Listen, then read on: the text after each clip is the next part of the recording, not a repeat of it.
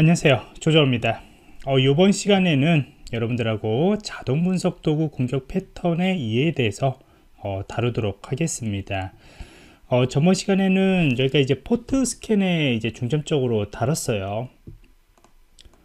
포트 스캔은 이제 서비스하고 연결되어 있는 그 게이트를 문을 찾는 그 과정이라고 이야기를 했죠. 그래서 우리가 범죄자가 어, 공격을 할 때 어떤 포트들이 열려 있는가 를 먼저 확인을 하게 되는 거고요. 그 다음에 특정한 이제 포트들이 열려 있을 때 어, 이제 목표를 정하는 거죠. 보통 이제 웹 서비스 대상으로 목표를 정하게 될 것이고 웹 서비스 대상으로 목표를 정했으면은 이제 이게 80 TCP가 거의 대부분이죠. 거의 80 TCP가 열려 있을 거고요. 그러면 이것으로 이제 공격을 들어오게 되는 건데 그냥 공격자가 어, 이렇게 처음부터 어떤 공격 대상에 대해서 취약점들을 바로 알아내기는 어렵습니다. 여러 가지 시도를 이제 하게 되는 거죠. 그래서 이런 시도들을 어떤 것을 하는지, 그래서 우리가 침해 사고 대응 분석하는 관점에서 첫 번째는 포트 스캔에 관련된 그런 패턴들을 확인을 해야 하는 것이고요. 이거는 전번 시간에 저희가 배웠고요. 그 다음에 이제 두 번째는 오늘 배울 이 포트 스캔 다음에 어떤 자동 분석 도구를 통해 가지고 자기네들이 이제 해킹 도구라고 이야기를 하겠죠. 그런 해킹 도구를 이용해서 여러 가지 공격들을 앞에서 이제 정보 수집을 하게 되는 겁니다. 그래서 이 정보 수집을 하는 과정들을 오늘 좀 배우도록 할 거예요. 자, 그러면 이제 공격자가 어떤 자동 분석 도구를 사용하는 이유에 대해서 좀 이해할 필요가 있습니다. 자, 첫 번째는 뭐냐면은 저희가 서비스 아니면 웹사이트를 어, 구성하는 데에는 여러 가지 디렉토리와 그런 파일들로 이제 이루어져 있었습니다. 어, 여러분 같은 경우에는 이제 뭐 네이버.com이라는 사이트를 가시면은 그 이에도 여러 가지 그 ER 디렉토리에도 여러 가지 그러한 어, 디렉토리하고 파일들이 있어요. 어, 여러분들이 이제 관심을 안 가지고 그냥 이렇게 진행하는 경우들이 많이 있죠. 그래서 네이버를 가시면 이제 증권사를 가시고요. 요게 이제 도메인이겠죠. 그 다음에 롯데케미칼 뭐 이런 식으로 어, 검색을 하시면은 이쪽 위쪽에 보시면은 이제 이런 것들이 디렉토리란 거죠. 음, 이런 것들이 디렉토리예요. 이하 디렉토리. 이게 여기가 이제 도메인인 것이고요. 그 다음에 요게 이제 디렉토리 그 이하 디렉토리들이고 그 다음에 이런 것들이 파일들입니다. 그래서 여기는 메인에 nhn이라고 이렇게 표시를 되어 있죠. 그리고 뒤에 있는 이 코드라는 거 이 뒤에는 이제 변수값 우리가 파라미터 값이라고 이야기합니다. 전달 값이라고도 이야기를 하고요. 그 다음에 이제 뭐 프로그램에서는 변수 값이라고도 이야기를 하죠. 아무튼 전달을 한다라고 해서 이제 파라미터 값이라고 이야기를 합니다. 그래서 이렇게 이제 우리가 이런 URL 구조들이 이런 식으로 구성이 되어 있어요. 자 그렇다면은 공격자 입장에서는요 요 네이버.com이라는 곳에다가 공격을 한다고 했을 때 바로 이쪽으로 와서 공격하는 것이 아니고 이쪽 뒤에 있는 이 디렉토리가 뭐가 있을까? 그 다음에 이제 main.html이나 이런 파일들이 뭐가 있을까? 어떻게 파라미터들이 구조가 되어 있을까? 요것들을 하나씩 하나씩 확인하면 굉장히 힘들다는 거죠. 그러면 자동 분석 도구를 통해서 저희가 이 금융권이라는 곳에 공격을 한다고 했을 때 이렇게 되어 있는 이런 것들이 다 메뉴인 것이죠. 여기를 찍을 때도 위에가 월드라고 바뀌고요. 시장 지표라고 했을 때는 market index라고 이렇게 찍혀요. 그러니까 디렉토리가 다 바뀐다는 거죠. 그 다음에 그 안에서 내가 또 정보들을 얻으려고 하면은 이 market index 안에 또 exchange detail이라는 파일이 있을 거고 뒤에 이제 파라미터가 있습니다.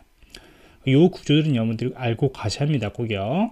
자 그래서 이런 식으로 구조들을 보는데 하나씩 하나씩 다 찍어 가지고 확인하기 어렵다는 거죠. 특히 이제 펀드 같은 거 보니까 이제 주요 펀드 뉴스도 있을 거고 그 다음에 그 뉴스 오른쪽에는 각각 펀드에 대한 이러한 어, 명도 있을 거고요. 이런 편, 그 펀드 종류들이죠. 펀드 종류들도 있을 거고 또 가다 보면 이 정보들 또 자세한 정보들 보려면 뭔가 또 클릭을 뭐 하겠죠. 여러 가지들 이런 게 있는데 요것들을 이제 이 자동 분석 도구를 통해서 이 구조들을 한 번에 이렇게 쭉 돌아가면서 알게 된다는 거죠. 알아야 한다는 거죠. 이게 한마디로 기계를 사용해서 하나씩 하나씩 자동으로 찍게 만든다는 거죠. 음, 여러분들 이런 거 이제 뭐 매크로 같은 거 많이 이야기 됐죠? 이거하고 조금 비슷한 개념입니다. 사실 비슷한데 조금은 좀 다른 기능들이 이제 포함이 되어 있어요. 매크로는 직접 우리가 여기에 접근을 해서 이런 것들도 같이 기능에 대해서 클릭까지 가지고 들어가는 형태인 것이고요. 이 자동 분석 도구 같은 경우에는 이 페이지에 그냥 다 접근을 한번 다 해보는 거예요. 우리가 이거를 크롤링이라고 합니다. 크롤링. 크롤링. 어떤 것을 어, 수집한다라는 것이죠. 그래서 돌아다니면서 이렇게 하나씩 하나씩 다 수집을 하게 되는 겁니다. 그래서 이런 것들이 자동 분석 도구의 원리예요.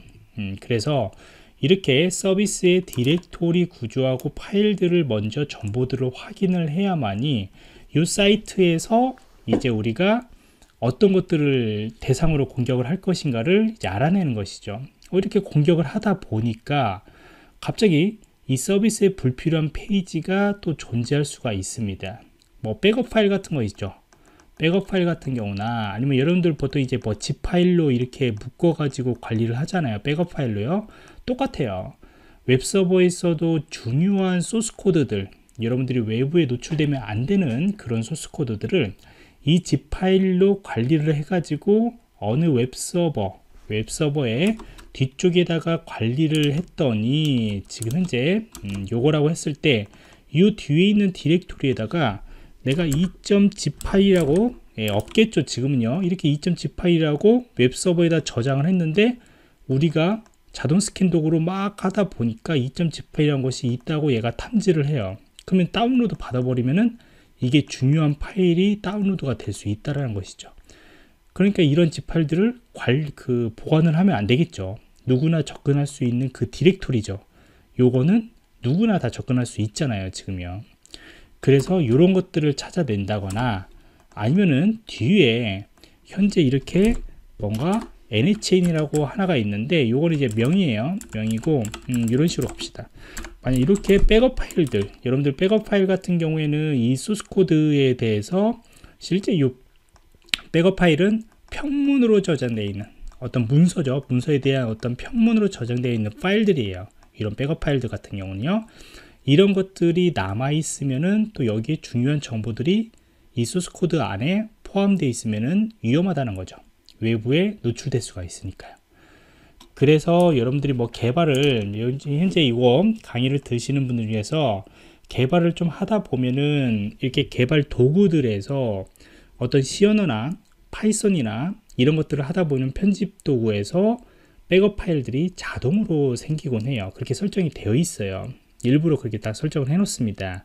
근데 그것들을 이제 백업 파일이나 그런 것들을 그대로 남겨놓은 상태에서 서비스로 오픈을 하면은 실질적으로 여기에 정보들이 외부에 노출될 수가 있습니다. 그래서 이런 것들을 이제 어떻게 하냐? 바로 이제 사전 파일이라고 있는데 이 사전 파일에 대해서는 뒤에서 제가 좀 더 저 자세히 설명을 드리도록 할 거예요. 어, 간단하게 이야기를 하면요. 우리가 이 백업 파일들이나 아니면 테스트 페이지를 찾기 위해서는 이 테스트라는 어떤 문장이나 어떤 백업 파일이라는 문장들을 미리 이 도구가 알고 있어야 돼요. 그래서 아 나는 테스트라는 파일을 난 찾고 싶어 라고 했을 때는 이 사전 파일에 테스트라는 것이 평문으로 이게 이렇게 문서죠. 문서로 테스트 1, 2, 3, 4 admin 그 다음에 뭐 admin 1, 2, 3, 4 BAK 백업 파일 뭐 이런 식으로 zip 파일 이런 식으로 저장이 되어 있어요. 집 이렇게 평 그 문자로요. 그러면은 이 사전 파일에서 얘들을 가져와서 모든 디렉토리에다가 다 적용을 시켜보는 거죠. 다 접근을 한번 해보는 거야. 접근은 접근. 그래서 백업 파일이 있는지, 테스트 파일이 있는지, 그 다음에 관리자 페이지에 어떤 중요한 정보들이 있는지 그런 것들을 하나씩 하나씩 다 적용을 시켜 봅니다. 그것들이 바로 사전 파일을 통해서 찾는 거예요. 자, 그러면은 사전 파일을 통해서 이렇게 불필요한 페이지나 이런 것들을 찾을 때 아니면은 이러한 디렉토리 구조나 파일 정보들을 찾을 때는 이 자동 도구, 자동 도구가 굉장히 빠른 속도로 돌아갈 거예요. 그렇죠? 그냥 천천히 하나씩 사람의 사람의 속도로 하려면 자동도가 필요 없죠. 자동 분석 도구는 사람의 손으로 할 수 없을 만큼 빠르게 동작을 시키면서 또 사람이 빼먹을 수 있을 만한 그런 패턴들을 이 dictionary 파일에다 다 넣어줘가지고 빠짐없이 검사를 할 수 있게 만드는 거죠. 빠짐없이요. 그게 바로 이제 자동 분석 도구의 원리예요. 그러니까 굉장히 빠른 시간 안 동안에 많은 패턴들이 웹서버에 남아 있을 겁니다. 예, 그거를 볼 거예요. 그리고 앞에서 저희가 Wireshark로 통해 가지고 어, 한번 이제 패턴 같은 걸 이렇게 쭉 조금 봤잖아요. 우리가 port scan 했을 때요. 이런 것들도 한번 자동 분석 도구로 돌렸을 때 어떻게 남는지 한번 보시게 될 겁니다. 자, 그 다음에 이제 서비스 페이지 내 정보입니다. 버전 정보나 그런 것들을 확인하는 것은 매우 중요하다고 이야기를 했어요. 그래서 이 스캔, 이 자동 분석 도구를 동작시키는 동안에 이 페이지 내, 페이지라는 것은 어떤 거냐면요. 저희가 요거 같은 경우에는 여러분들이 어, 거의 다 아시다시피 HTML하고 자바스크립트 되어 있습니다. 자, 뭔 말이냐면은 F12 여기 우리가 브라우저에서 F12를 누르시면은 이런 식으로 어떤 개발자 도구가 하나가 나와요. 여러분들은 오른쪽에 나올 수가 있습니다. 그럼 오른쪽에 나오면은 여기에서 이제 뭐 이렇게 정해지면 돼요. 음, 여기인가? 여기 저기죠. 여기에서 이제 여러분들은 아마 오른쪽에 이렇게 되어 있을 건데 저와 같이 이렇게 아래쪽으로 가시면 이제 아래쪽으로 이렇게 나옵니다. 여러분들 편한 대로 보시면 됩니다. 자, 그러면은 여기에 나와 있는 요런 요런 요런 이런 것들 요런 것들이 유의 것들이 다 요거를 누르시고요. 여기 보시면 요거 있죠? 요거 누르시고 이렇게 찍어 보시면은 이렇게 뭔가 따라가죠. 뭔가 계속 따라가죠. 요거 클릭하시고 이런 거 누르시면은 아 이거 분들 요 아래쪽에 봤더니 아얘 8은 여기 8, 얘 8은 여기 8, 2.81 뭐 이런 식으로 코딩이 되어 있죠. 이게 바로 이제 HTML이에요. 이 HTML이 해석이 돼서 여러분들 페이지에 보여주는 거죠. 예, 보여주게 되는 겁니다. 그래서 이게 이렇게 어, 여러분들이 볼 수가 있고요. 아니면 여기서 이 페이지에서 F12 안 누르셔도 오른쪽 누르셔가지고 여기에 보면 페이지 소스 보기라고 있죠. 이 페이지 소스 보기요. 얘를 클릭하시면은 여기에 어떠한 어, 많은 어, 이렇게 코드들이 나옵니다. 코드들이 나오죠. 이게 바로 이제 HTML하고 이제 자바스크립트들이 이제 여러분들 페이지에 이렇게 음, 만들어져 가지고 여러분들한테 보여주는 겁니다. 그러면 이 페이지 내에 이 HTML 페이지 내에 웹 서버의 어떤 버전 정보들 뭐 이런 거죠. 이러한 1.5.3이라는 이러한 정보들 같은 경우나 아니면 아래쪽으로 이렇게 쭉 뭐 이렇게 보시다 보면은 이제 버전과 관련된 정보들이 노출이 될 수가 있어요. 버전 정보가 노출이 되면 공격자들 같은 경우에는 그 버전 정보를 이용을 해서 저희들이 공격 코드하고 매칭을 시켜서 공격을 진행을 할 수가 있습니다. 종류가 굉장히 수월해진다는 소리겠죠. 그래서 이 서비스 페이지, 이 홈페이지 내에 어떤 중요한 버전 정보들이나 중요한 정보들도 있을 거죠. 뭐 패스워드 파일 같은 거 이런 정보들도 숨겨져 있을 수도 있고요. 관리자의 어떤 아이디 정보 같은 거나 이런 계정 정보 같은 경우에도 있을 수가 있습니다. 어떤 이메일 정보가 있을 수도 있고요. 그런 정보들이 이제 노출되냐 안 되냐 여부들도 이제 확인을 하게 되는 겁니다. 공격자 입장에서는 많은 최대한 많은 정보들을 획득을 하고 이제 공격을 진행을 해야 하는 거잖아요. 예, 그래서 이러한 작업들을 진행을 하게 돼요. 그래서 자동 분석 도구를 돌리다 보면은 메인 페이지 처음에 우리가 접근하는 페이지에다가 이렇게 가다가 메뉴 같은 것이 6개가 있으면은 여섯 번의 그 링크들을 또 따라 가지고 crawling을 하게 되는 겁니다. 다시 설명하면요. 이렇게 crawling을 하는 과정에서 요 HTML 요 페이지 요 A라는 페이지 우리가 아까 주식이라는 것을 링크를 링크를 클릭을 했잖아요 그 주식이라는 링크를 클릭했을 때 HTML 페이지가 우리한테 브라우저로 보이게 되는 건데 이 브라우저에 보이는 그런 HTML 페이지 안에 중요한 정보나 버전 정보가 있으면 안 된다는 거죠. 그리고 관리자하고 관련된 아이디하고 패스워드 정보가 여기서 노출이 되면은 위험할 수가 있겠죠.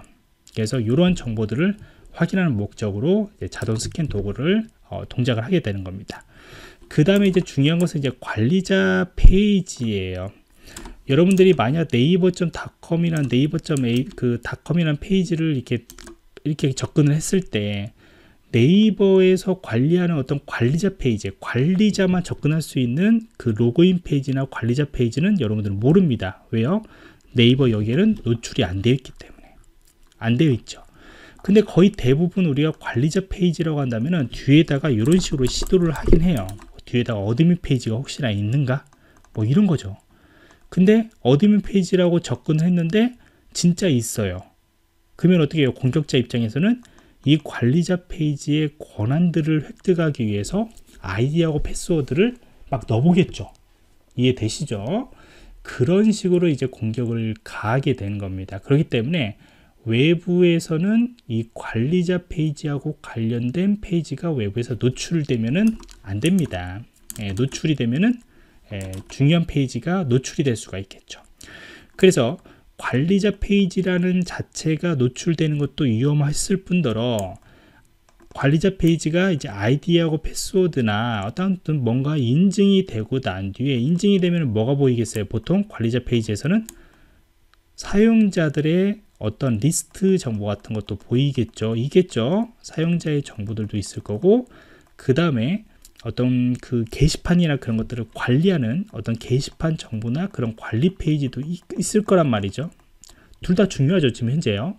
그 다음에 여러분들이 어떤 뭐 네이버 페이나 그런 것을 이용해서 뭐 결제를 하면은 결제한 사용자들의 정보들도 있을 거고 이것도 다 관리자에서 관리를 하겠죠. 이런 정보들이 있는데 만약 이 자동 스캔 도구를 하는 과정에서 관리자 페이지가 인증 없이 접근한 페이지가 발생할 수가 있습니다. 이 말은 공격자가 현재 여기에서 자동 스캔 도구를 돌려가지고 막 확인을 해봤는데 추측으로 이 사전 파일을 이용해서 혹시 어떤 디렉토리가 있는가 어떤 디렉토리가 있는가를 막 무작위로 대입을 하게 되는 겁니다. 이 사전 파일에는 많으면 많을수록 좋으니까요. 나중에 이건 실습을 하게 될 겁니다. 막 이렇게 동작을 하다 보니까 정상적으로는 이 아이디하고 패스워드를 입력하고 접근을 해야만이 되는 이러한 페이지가 이 공격자가 그냥 이렇게 점프해 가지고 예, 접근을 할 수도 있다라는 거죠. 보안적으로 취약, 취약하면요. 이게 바로 인증 없이 접근하는 페이지들을 확인하는 방법입니다.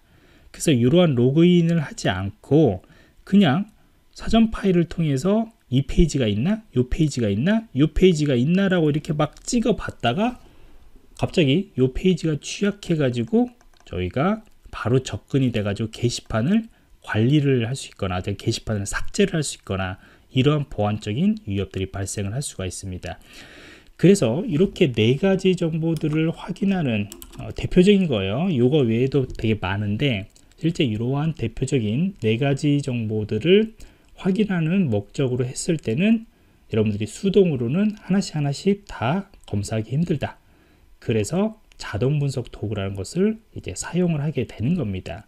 그러면 이제 공격자가 이렇게 자동 분석 도구를 사용할 때는 또 어떤 아까처럼 말했듯이 되게 많은 패턴들과 그다음 어떤 정해진 패턴들이 뭔가 있겠죠. 예, 그런 것들을 확인하면은 아, 이 공격자는 실제 공격하기 전 어떤 자동 분석 도구를 통해 가지고 이 시스템에 있는 어떤 취약점들을 우선 확인을 하고 그 다음에 거기서 이제 발견한 것을 더 이제 심화 공격을 통해 가지고 내부에 있는 시스템에 침투하려고 하는구나 라고 우리가 판단을 할 수가 있겠죠. 그래서 이것들을 직접 여러분들 실습을 같이 해보면서 어, 그런 패턴들을 좀 살펴보도록 할 겁니다